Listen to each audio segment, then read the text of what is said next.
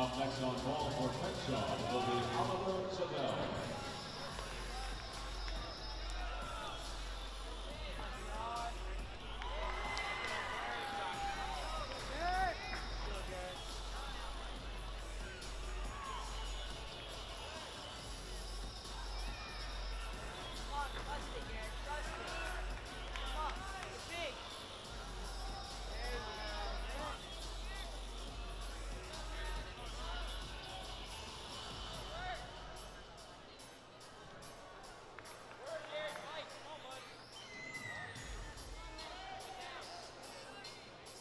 On Pommel Horse, that was Cameron Lee of Mocha.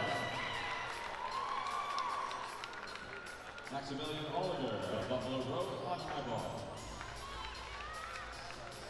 John Chow of Stanford Boys on floor.